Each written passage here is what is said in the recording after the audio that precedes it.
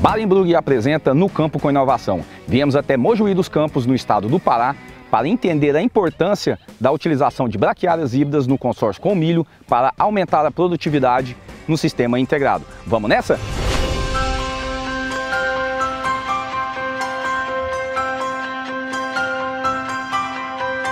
É, dos principais fatores que a gente vê no uso da braquiária é a questão da palhada para poder a gente antecipar o nosso plantio do soja. Né? É, a gente consegue manter uma umidade melhor no solo para poder a gente estar tá iniciando esse plantio. Essa área onde a gente está aqui, tem, teve, depois do, do dia do plantado, teve 16 dias de sem chuva. E mesmo assim manteve umidade no solo, a planta se desenvolveu normal e veio sem falhas. Né?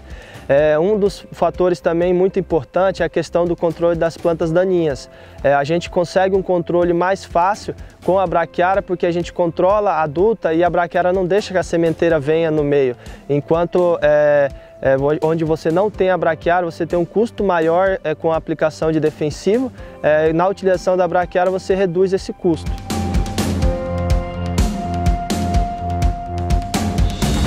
É um dos fatores importantes da braquiária também a questão da reciclagem dos nutrientes.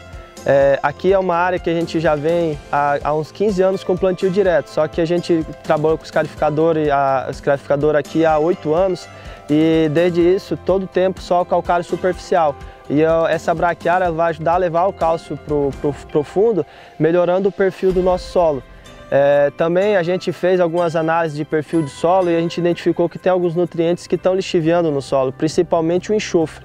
E com esse trabalho que a gente vem fazendo com milho, safrinha, braquiária, a gente consegue que a nossa raiz do, a nossa raiz do nosso soja entre, entre mais no perfil do solo e poder buscar esses nutrientes que estão é, abaixo dos 20 centímetros. Né? E a própria braquiária faz esse ciclo nutriente e traz uma parte desses nutrientes novamente para cima, para ficar disponível para a cultura principal nossa aqui, que é soja e milho.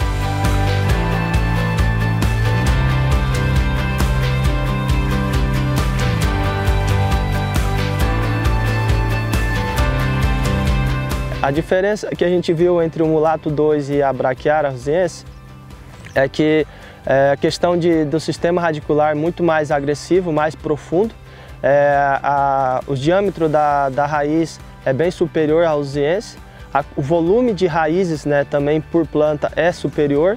É, a, a, a, gente vê que é uma, uma, uma que, que, o Mulato 2 tem uma capacidade maior de descompactação do solo do que as demais rosienses. É, hoje a gente recomendaria a semente da Bariburg por, principal motivo a qualidade de, de, de, de, germinação que a gente tem, né? a segurança da, da questão da germinação da, da, que a gente tem nesses todos esses anos que a gente já vem trabalhando com ela. Né? Uma semente limpa, pura também, sem, contar, sem mistura de nenhuma planta daninha.